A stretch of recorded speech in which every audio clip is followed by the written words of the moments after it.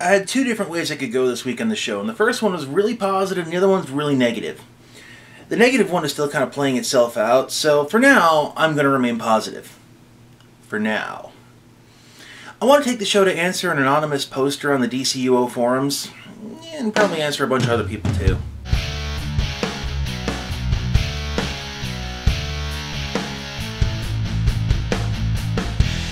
I've been very vocal about my dislike of the latest DLC for DC Universe Online. I don't like much of anything of Amazon Fury, and I've stated my opinions on the forums.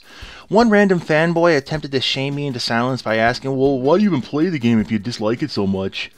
Well, first of all, the tactic of flaming me into silence doesn't work. Second, not everyone is a slobbering fanboy and loves everything that a company does. I mean, I have the right to not like something. Third, in spite of the part I dislike, there's a lot of the game that I do like. For example, most of the community. Most. Most. Stay positive. Stay positive.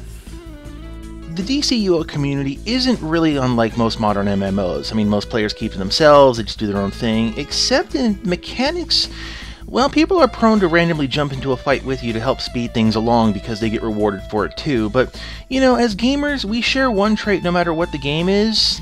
Just to see it a lot more in DCUO. The best way I can describe it is through an event that happened last week. I, I wasn't recording it, but I'm using other footage from the same instance just to show you what it is. It's Themyscira Divided. It's part of the latest DLC, and it's a very grindy four-player instance.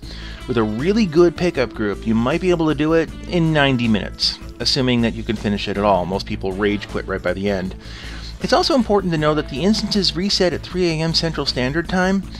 So, to kind of put everything in context of what happened, about 2 a.m., the random pug pops up as Themyscira divided. Now, as I said, most pugs take an hour and a half, so this alert would finish after the reset. Meaning that the mini bosses would be pre reset, the main one probably post reset, or simply put, it would mean that half the instant reset on the new day, the big reward wouldn't. It just means that you're going to be grinding on it for a longer period of time, not the end of the world.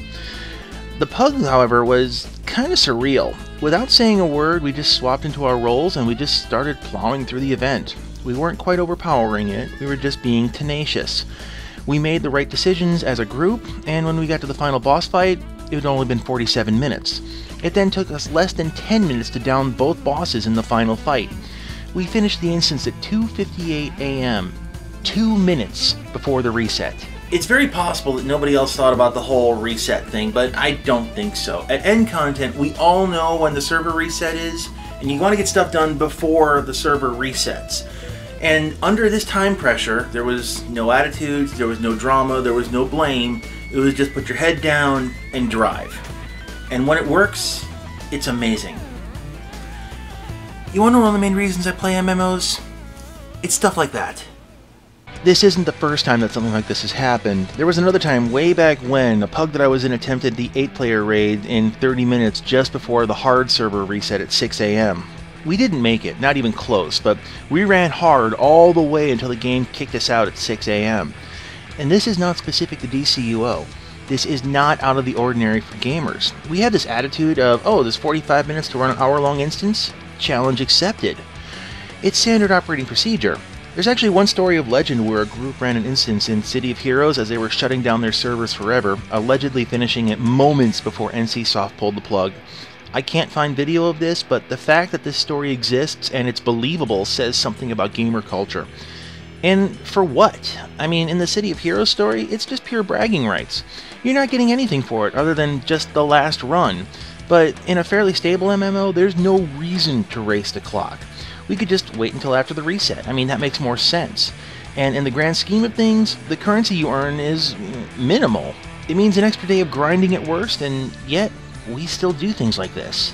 And before we continue here, yes, I am aware of the people who rage quit instances, and I'm aware of the people that do it chronically, but thing is that we all know that they're a minority a very vocal and visible minority, but a minority nonetheless. Most of us gamers will stick it out and we'll actually see it all the way through. We'll finish the mission. Why? To answer that, I need to get into one of the reasons we play games like this in the first place. It's a challenge. It's been my experience that gamers enjoy a challenge, especially when we're told something is impossible. Uh, case in point, the DC DCUO dev team talking about survival mode. It does have an end cap to it. I don't think In a theory. single player, a single group, will be able to get to that end cap. I don't think so. It's been about a month, and at least one group has actually done it. The lesson being that if you place a challenge before gamers with the promise that somehow it's completable, we will complete it. A lot of researchers are using this tenacity to their advantage. You got games like Foldit, Planet Hunters, and Genes in Space that are using our love for a good challenge as a means to do good things. Gamers solved the problem in three weeks that researchers struggled for 13 years with. Challenge accepted and met. So is it just the challenge?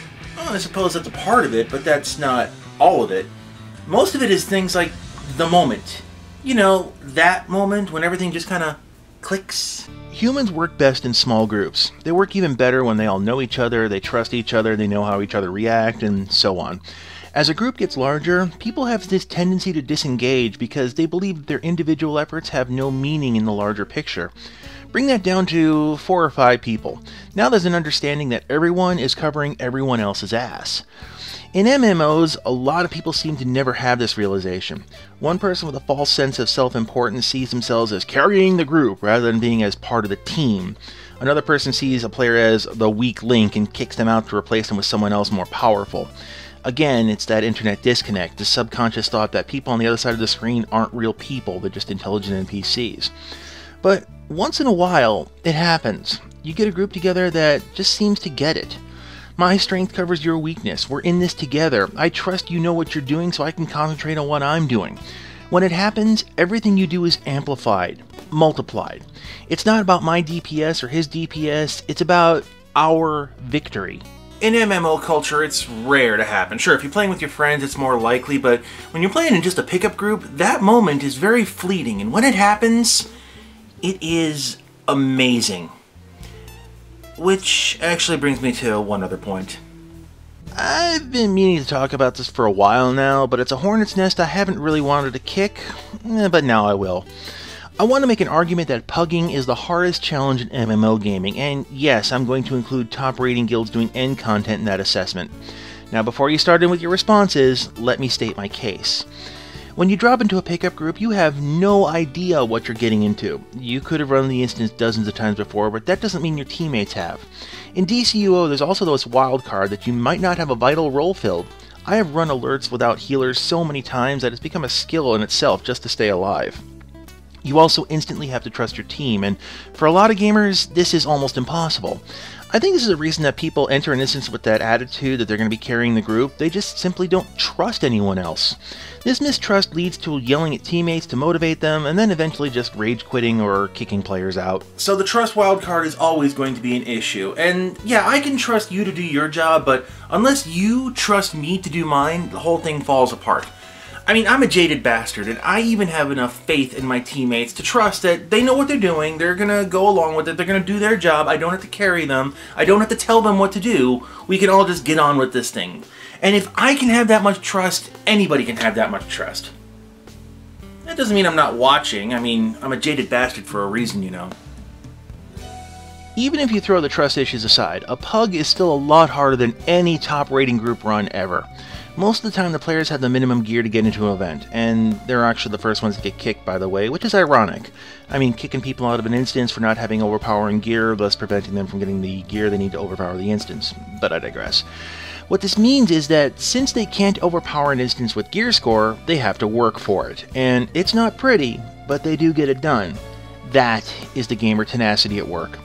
Because of this, there's a motivation to get through the event. And this kind of goes back to an earlier show.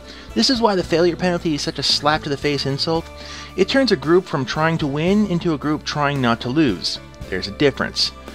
This is what makes it so rare when groups just work. Everything has to fall into place. Everyone has to know what to do, they have to trust each other, they have to check their egos at the door, put their heads down, and just drive forward.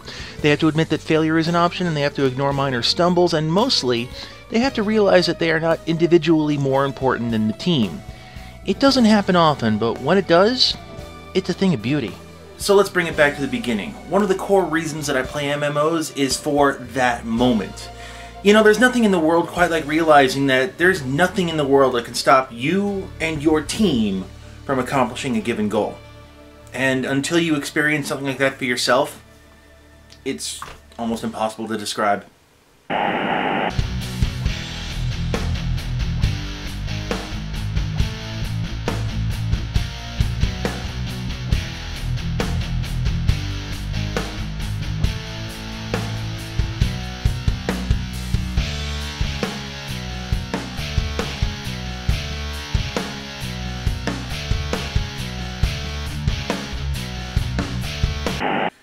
One thing I want to mention really quickly here. Normally this would be where I'd put a gag or something, but um, yeah, I kind of had a medical thing today, so that's why the voiceover, and that's why this is not. It's up to what I would consider par. So my apologies for that. Life is what happens while you're making other plans. Is what it comes down to. See you guys in a couple weeks.